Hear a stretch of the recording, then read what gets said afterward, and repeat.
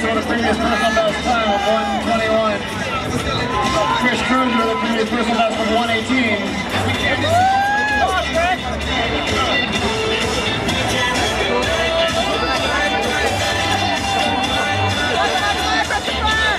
Two second penalty being assessed on the red side.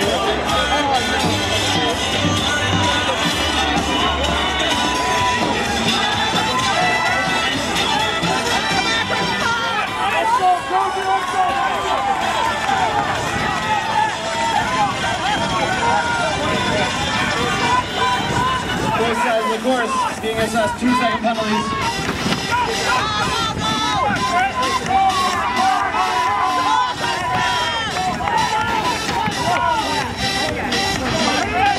Chris Crozier on the right side was our rookie of the year last year in the 118.